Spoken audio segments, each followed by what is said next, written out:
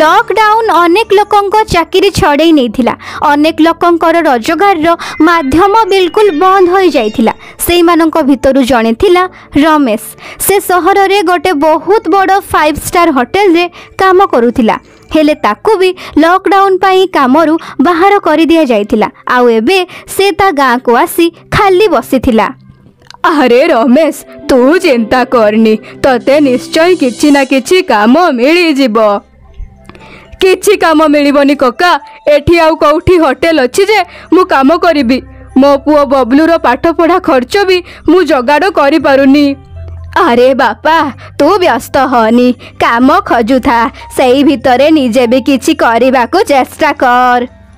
ସବୁ ଲୋକ ରମେଶକୁ ଆସି ନୂଆ ନୂଆ ଆଇଡ଼ିଆ ଦେଉଥିଲେ। ହେଲେ ତାକୁ କିଛି ଚାକିରି ମିଳୁନଥିଲା ଆଉ ନା ହିଁ କାହାର ଆଇଡ଼ିଆ କାମରେ ଆସୁଥିଲା। ଦିନେ ତା ସ୍ତ୍ରୀ ପ୍ରତିଭା ତାକୁ କହେ ହେଇଟି ଶୁଣୁଛ ତୁମେ ଏତେ ଚିନ୍ତାରେ ରୁହନି। ତୁମକୁ କ'ଣ ଆଉ କିଛି ବି ଆସେନି? ଯୋଉଥିରୁ କିଛି ରୋଜଗାର ହେଇପାରିବ? ଆରେ ଆସୁଥିଲେ ଏମିତି ଖାଲି ବସିନଥାନ୍ତି ମୁଁ। ତୁମକୁ କ'ଣ ଲାଗୁଛି ଏମିତି ଖାଲି ବସିବାକୁ ମୋତେ ମଜା ଲାଗୁଛି ତାହେଲେ ସେଠି ସହରରେ ତୁମେ କ'ଣ କରୁଥିଲ ଯେ? ଆରେ କେତେ ଥର ତ କହିସାରିଛି ଯେ ଗୋଟେ ହୋଟେଲରେ ସିଙ୍ଗଡ଼ା ବନାଉଥିଲି। ତାହେଲେ କ'ଣ ତୁମେ ଭୁଲିଗଲ ସିଙ୍ଗଡ଼ା ବନେଇବା? ଆରେ ତୁମେ ପାଗଳି ନା କ'ଣ? ଏଇଟା କ'ଣ ଗୋଟେ ଭୁଲିବା କଥା? ଥରେ ଶିଖିଗଲେ ଆଉ ଭୁଲି ହୁଏନି। ତାହେଲେ ସେସବୁ ହିଁ ତୁମେ କ'ଣ ପାଇଁ ବନଉନ? ଆରେ ଗୋଧୁଣି କେମିତିକା ବନେଇବି? ଏଇଠି କୋଉଠି ହୋଟେଲ ଅଛି ହଁ? ଆରେ ହୋଟେଲ ନଥିଲେ କ'ଣ ହେଲା? ଆମେ ନିଜର ଠେଲା ତ ଲଗେଇ ପାରିବା ନା? ଏ କଥା ଶୁଣି ରମେଶ କିଛି ସମୟ ଚିନ୍ତା କରେ ଆଉ ଏକଦମ ସେ ଛିଡ଼ା ହେଇଯାଏ। କ'ଣ? କ'ଣ କହିଲ ତୁମେ? ଅ, ଅ, ମୁଁ କହିଲି ଯେ ନିଜର ଠେଲା ତ ଲଗେଇ ପାରିବା ନା? ଏ କଥା ଶୁଣିବା ମାତ୍ରେ ରମେଶ ପ୍ରତିଭାକୁ କୁଣ୍ଢେଇ ପକାଏ। ଆରେ ଏ କଥା ଆଗରୁ କ'ଣ ପାଇଁ କହିନଥିଲ? ତୁମେ ମୋତେ କୋଉଠି ପଚାରିଥିଲ ଯେ? ତୁମେ ତ ମୋତେ କିଛି ସୁଖ ଦୁଃଖ କଥା କୁହନି। ଖାଲି ସାଙ୍ଗମାନଙ୍କ ସାଙ୍ଗରେ କଥା ହୁଅ। ଆରେ ଟେନସନରେ ଭୁଲି ଯାଇଥିଲି ଯେ କାହାକୁ କହିବାର ଅଛି ଆଉ କ'ଣ କହିବାର ଅଛି। ହଉ ଛାଡ଼ ଏବେ ତ ସେଇଆ ହିଁ ହବ। ଯାହା ତୁମେ କହିଲ କାଲିଠୁ ଆମେ ସିଙ୍ଗଡ଼ାର ଠେଲା ଲଗେଇବା। ସେଇଠି ହୋଟେଲରେ ସମସ୍ତଙ୍କୁ ମୋ ହାତର ସିଙ୍ଗଡ଼ା ଭାରି ପସନ୍ଦ ଆସୁଥିଲା। ଯାହା ହଉ ତୁମ ଟେନସନ୍ ତ ଦୂର ହେଲା। ହେଲେ ଶୁଣ ମୋତେ ତୁମର ସାହାଯ୍ୟ ଦରକାର। ହଁ ବାବା ମୁଁ ତୁମ ସାଥିରେ ସବୁବେଳେ ଅଛି। ବାସ୍ ଏବେ ଦୁଇ ଜଣ ନିଜର ସିଙ୍ଗଡ଼ା ଠେଲା ଲଗେଇବା ପାଇଁ ପ୍ରସ୍ତୁତ ହୋଇଯାଆନ୍ତି। ତା ପରଦିନ ସକାଳୁ ନିଜ ଘର ସାମ୍ନାରେ ହିଁ ରମେଶ ସିଙ୍ଗଡ଼ାର ଠେଲା ଲଗେଇ ନିଏ ଆଉ ସେଇ ପାଖରେ ହିଁ ପ୍ରତିଭା ଚାହା ବି ବନାଏ।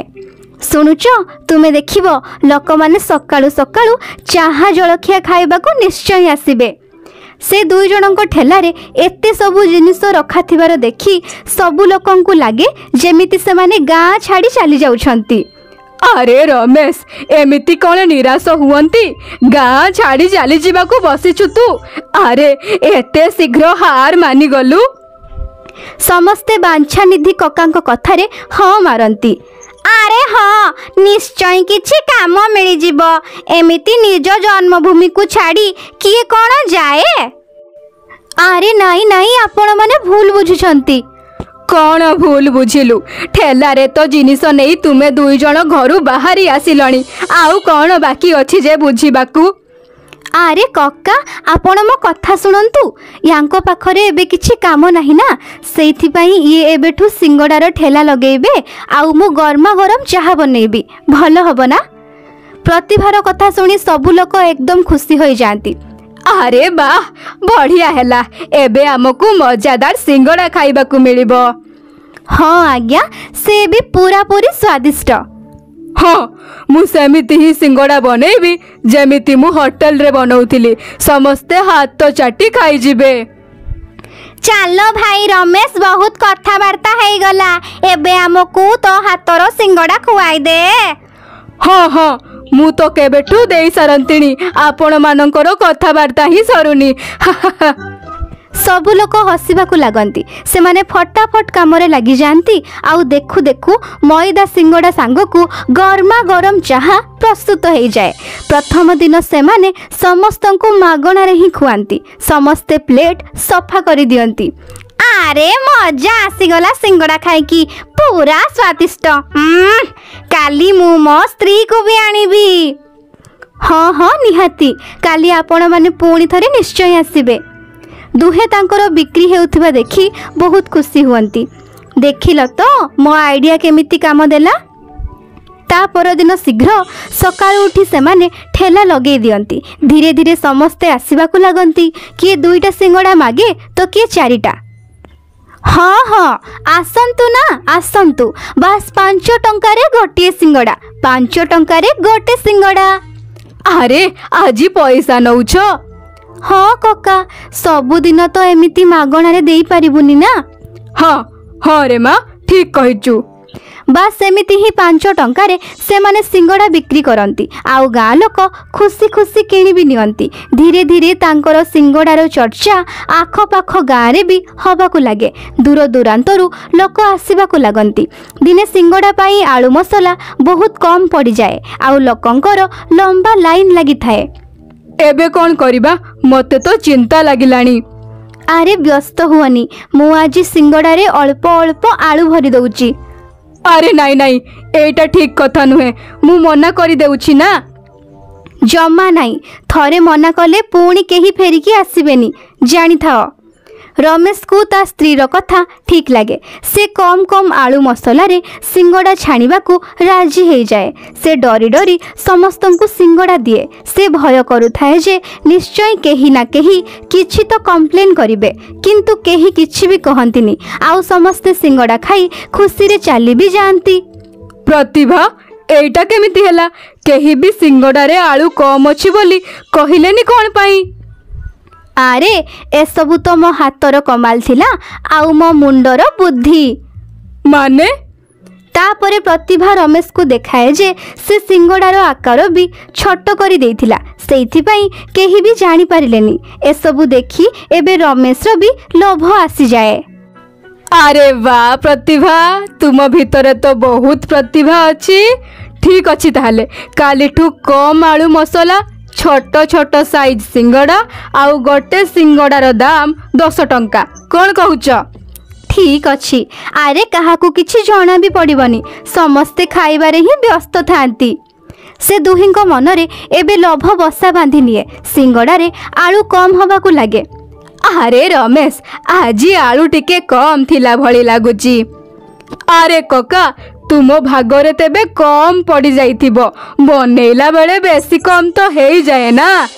ହଁ ସେଟା ବି ଠିକ୍ କଥା। କାହାକୁ ବି ତାଙ୍କ ଉପରେ ସନ୍ଦେହ ହୁଏନି। ଯିଏ ବି ଦିନେ କହିଦିଏ ଯେ ତା ସିଙ୍ଗଡ଼ାରେ ଆଳୁ କମ୍ ଥିଲା ତା ପରଦିନ ସେମାନେ ତାକୁ ବେଶୀ ଆଳୁ ଭରି ସିଙ୍ଗଡ଼ା ଦିଅନ୍ତି। ଯେମିତି ସେ ଆଉ କିଛି ବି କହିପାରିବନି। ବାସ୍ ଏମିତି ହିଁ ଚାଲୁଥିଲା। ଦୁଇ ଜଣ ଗାଁ ଲୋକଙ୍କୁ ଲୁଟିବାରେ ଲାଗିଥିଲେ। ହେଇଟି ଶୁଣୁଛ ଆମର ଯେତିକି ଲାଭ ପଇସା ମିଳୁଛି ନା ସେସବୁକୁ ଆମେ ଗୋଟେ ଅଲଗା ଜାଗାରେ ରଖିବା ଆଉ ସେଇଠି ସଞ୍ଚୟ ବୋଲି ଲେଖିଦେବା ପରେ ସେସବୁ ଆମ ବୁଲାବୁଲି ଯିବା କାମରେ ଲାଗିବ। ବା ପ୍ରତିଭା ଇଏ ତ ବଢିଆ କଥା ରୋଜଗାରକୁ ରୋଜଗାର ଲାଭକୁ ଲାଭ ପୁଣି ସଞ୍ଚୟକୁ ସଞ୍ଚୟ କାହାକୁ ଜଣା ବି ପଡୁନି ହା ହା ହା। କାଲିଠୁ ଆମର ଆହୁରି ଜିନିଷ ବଳି ପଡ଼ିବ। କେମିତି? ତୁମେ ଆହୁରି କ'ଣ କରିବ? କାଲିଠୁ ସିଙ୍ଗଡ଼ା କେବଳ ମଇଦାରେ ହେବନି ସେଥିରେ ସୁଜି ଆଉ ଅଟା ବି ମିଶିବ ଆଉ ପୁର ପାଇଁ ଆଳୁ ମସଲା କମ୍ ଆଉ ବାକି ଜିନିଷ ଅଧିକ। ଆରେ ଯଦି କାହାକୁ ଜଣା ପଡିଗଲା ତ? ଆଜି ପର୍ଯ୍ୟନ୍ତ ତୁମେ କ'ଣ ଜାଣିପାରିଛ ଯେ ମୁଁ ମଇଦାରେ ଏତେ ସବୁ ମିଶାଉଛି ବୋଲି? ହେଁ? କ'ଣ ସତରେ? ଏମିତି ଦୁଇ ଜଣଙ୍କ ଖୁସି କହିଲେ ନ ସରେ ତାଙ୍କର ଲାଭ ଚାରି ଗୁଣା ପାଞ୍ଚ ଗୁଣା ବଢ଼ି ଚାଲିଥିଲା। କିଛି ମାସ ପର୍ଯ୍ୟନ୍ତ ଏମିତି ଚାଲିଲା। କେହି କମ୍ପ୍ଲେନ୍ କଲେ ତାକୁ ଦୁଇ ତିନି ଦିନ ଭଲରେ ଖୁଆଇ ଦେଉଥିଲେ। ଆଉ ପୁଣି ଥରେ ବେଇମାନି କରିବାକୁ ଲାଗି ପଡ଼ୁଥିଲେ ଦିନକର କଥା। ତାଙ୍କ ପୁଅ ବବଲୁ ସ୍କୁଲ ଯିବା ପାଇଁ ଉଠି ହିଁ ପାରୁନଥିଲା। ରମେଶ ଦେଖିଲା ଯେ ତାକୁ ବହୁତ ଜ୍ୱର ସେମାନେ ତାଙ୍କ ପୁଅକୁ ଧରି ଡାକ୍ତର ପାଖରେ ପହଞ୍ଚିଲେ। ହେଲେ ତାକୁ କେହି ବି ଭଲ କରିପାରୁନଥିଲେ। ସେମାନେ ଜଣେ ଡାକ୍ତରଠୁ ଆଉ ଜଣେ ଡାକ୍ତର ପାଖକୁ ଦୌଡ଼ୁଥିଲେ। ଏହି କାରଣ ଯୋଗୁଁ ତାଙ୍କର ଠେଲା ବି ବହୁତ ଦିନ ଯାଏଁ ବନ୍ଦ ରହିଲା। ଏବେ ପରିସ୍ଥିତି ଏମିତି ଆସିଗଲା ଯେ ଯେଉଁ ଟଙ୍କା ଉପରେ ସେମାନେ ସଞ୍ଚୟ ଲେଖିଥିଲେ ତାଙ୍କୁ ସେସବୁ ମଧ୍ୟ ଖର୍ଚ୍ଚ କରିବାକୁ ପଡ଼ିଲା। ତାଙ୍କର ସବୁ ଲାଭ ପଇସା ସରିଗଲା। ଧୀରେ ଧୀରେ ବବଲୁ ଭଲ ହେବାକୁ ଲାଗିଲା। ଦେଖିଲ ତ ପ୍ରତିଭା ଆମ ଲାଭର ପରିଣାମ ଆମ ପୁଅକୁ ଭୋଗିବାକୁ ପଡ଼ିଲା। ବେଇମାନିରେ ରୋଜଗାର କରିଥିବା ଟଙ୍କା ଯେଉଁଥିରେ ଆମେ ସଞ୍ଚୟ ଲେଖିଥିଲୁ ସେସବୁ ତ ସରିଲା। ତା ଛଡ଼ା ଆମ ଠେଲା ବି ବନ୍ଦ ରହିଲା। ହଁ ତୁମେ ଠିକ୍ କହିଛ। ଏସବୁ ଆମ ଭୁଲର ଫଳ। ତାଙ୍କୁ ତାଙ୍କ ଭୁଲର ଦଣ୍ଡ ମିଳିସାରିଥିଲା। ଆଉ ତା ପରଦିନ ଠାରୁ ସେମାନେ ପୁଣି ଥରେ ସଚ୍ଚୋଟ ଭାବରେ ପୂର୍ବ ଭଳି ସିଙ୍ଗଡ଼ା ବନେଇବାକୁ ଲାଗିଲେ। ଯଦି ଆପଣଙ୍କୁ ଏ କାହାଣୀ ଭଲ ଲାଗିଥାଏ ତାହେଲେ ଲାଇକ୍ କରନ୍ତୁ। ଆଉ ଯଦି ଆପଣ ଆମ ଚ୍ୟାନେଲରେ ନୂଆ ଅଛନ୍ତି ତାହେଲେ ଚ୍ୟାନେଲକୁ ସବସ୍କ୍ରାଇବ୍ କରନ୍ତୁ। ଧନ୍ୟବାଦ।